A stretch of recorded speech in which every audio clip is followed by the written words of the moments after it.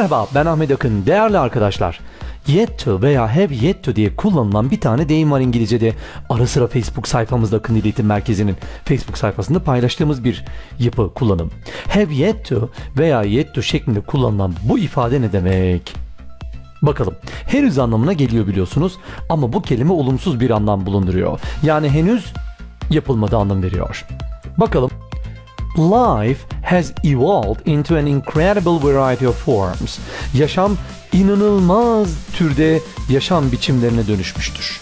With almost 1.8 million known species.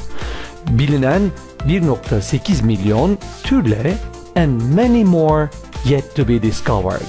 Ve daha bir sürü henüz keşfedilemeyen demek. Yani olumsuz bir şey gibi henüz yapılamadı şeklinde çevirmek lazım.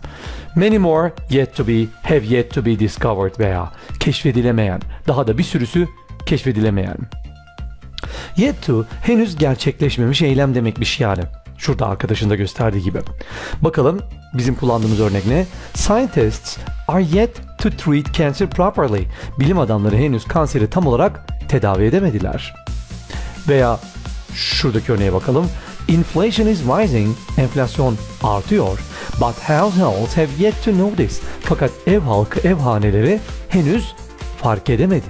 Yani yet to henüz yapılamadı şeklinde çevrilirse akıllı dostlar cuk yerine oturur. Akıntı, yakıntı.